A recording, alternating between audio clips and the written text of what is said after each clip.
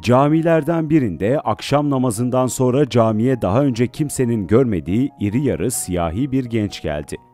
İmamdan izin isteyip kürsüye geçti ve camidekilere dönerek Esselamu Aleyküm ve Rahmetullahi ve Berekatu, Bismillahirrahmanirrahim dedi ve ayet ayet Fatiha suresini okumaya başladı.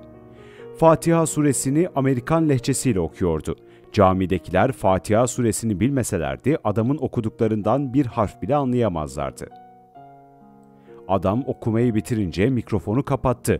Caminin arka tarafında nafile namaz kıldı, dua etti ve çıktı. İmam da onu takip ediyordu. Aklına bir sürü soru geldi. Bu genç niye böyle bir şey yaptı? Sesi güzel değil. Ayrıca tecvidi de yok. Genci yakalayıp ona bu durumu sordu. Genç, ben Amerikalıyım. İki gün önce Müslüman oldum. Adım da artık Mustafa. Müslüman bir arkadaşımın İslam hakkında bana verdiği bir kitabı okudum. Kitapta Peygamberimiz sallallahu aleyhi ve sellem benim tarafımdan tebliğ edilen Kur'an'dan bir ayet bile olsa insanlara ulaştırınız hadisinden dolayı böyle davrandım. Yedi ayet ezberledim ve akşam onu insanlara ulaştırdım. Gerçek Müslüman Allah'ın dinini yayandır. İslam benim kasvetten mutluluğa, karanlıktan aydınlığa giden yolumdur. Son peygamber Hz. Muhammed Mustafa sallallahu aleyhi ve sellem ümmetini İslam'a davete çağırmışken biz nasıl insanlığı bu nimetten mahrum bırakırız? Allah bu görevle biz ümmetini bütün ümmetlerin en hayırlısı yaptı dedi.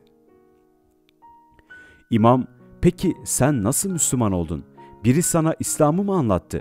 Seninle özel olarak ilgilenen biri oldu mu? Mustafa, dini vecibelere dikkat etmeyen bir genç benim dikkatimi çekti. Hidayetime sebep olan odur. Ona hayret ettim. Günah işlemesine rağmen Allah'a dua etmeyi bırakmıyordu. Bu durum İslam dışındaki diğer dinlerde bulunmaz. Arkadaşım gibi günahkar Müslümanların nefsini kötülediğini ama İslam'ı ve diğer Müslümanları yücelttiğini gördüm. Hiçbir günahkar Müslüman görmedim ki en yüce din İslam'dır. Fakat biz kendimize zulmedenleriz dememiş olsun.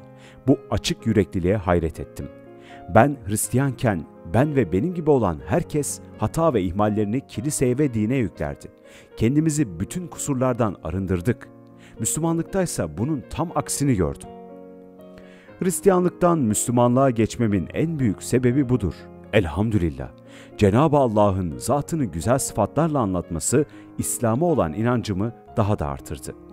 Diğer dinler onu zatına yakışmayan sıfatlarla anlatırken İslam ferd, bir olup hem zatında hem de sıfatlarında eşi ve benzeri olmayan, samet, hiçbir şeye muhtaç olmayan ama her şeyin, her şeyinde kendisine muhtaç olduğu isimleriyle bütün eksikliklerden münezzeh olduğunu anlatıyor dedi. İmam tebessüm etti ve Amerikalı Müslümanı kucakladı. Bu küçük büyük, kadın erkek, alim öğrenci, günahları için kendini hor görmeyen ve Allah'a çağırmada yetersiz kalan her Müslüman için bir mesajdır. Sen günah işleyen bir Müslümanla bile İslamiyete girilebileceğinin delilisin dedi. وَمَنْ أَحْسَنُ قَوْلًا مِّمَّنْ دَعَا إِلَى اللَّهِ صَالِحًا. وَقَالَ إِنَّنِي مِنَ الْمُسْلِمِينَ.